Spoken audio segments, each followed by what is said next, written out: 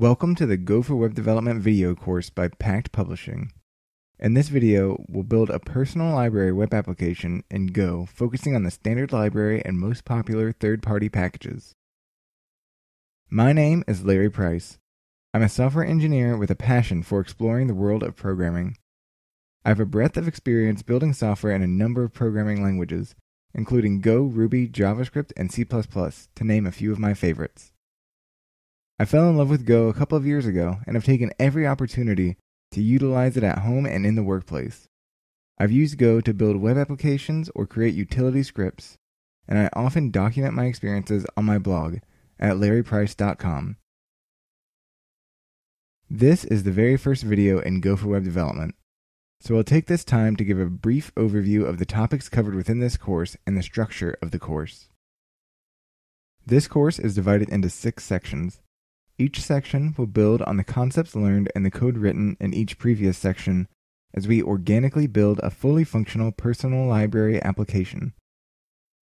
In the first section, we'll build a basic web server from scratch and start learning about templates and database connections. In section 2, we'll build search functionality into our basic web server. Our server will pull results from an external API called Classify, which will help us identify books. We'll start integrating AJAX calls into our front end, and we'll save selected books to our database. We'll also introduce the concept of web middleware and its many uses in building web applications. Throughout Section 3, we'll introduce viewing our book collection and deleting unwanted books. During this section, we'll also introduce popular third-party packages into our app, such as Gorilla Mux and the Ace template rendering engine. Section 4 will see us extending our database usage to include sorting and filtering our book collection based on user input. We'll use the popular GORP package to make database access easier. And Section 5, we'll focus on adding multi-user authentication to our app to enable any number of users to access personal library collections when viewing our site. We'll learn to use modern cryptography library bcrypt to hash user passwords and block any unknown users from entering the site. We'll wrap up the course in Section 6, where we'll think about the next steps in our Go web development journey. We'll discuss popular Go web frameworks and we'll delve into several tools which will allow us to easily format, lint, and test our code. In the very end, we'll update our web application to deploy it to Heroku for the world to see.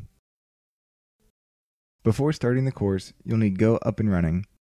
Go and all of its dependencies can be installed on any of the most popular operating systems and architectures but I'll be using Go 1.5 on Ubuntu Linux throughout the series. You'll probably want to have a base knowledge of Go syntax, which you can easily get by walking through the Go tour on golang.org. Having some experience in building software for the web will be helpful, but is not necessary to fully participate in this course.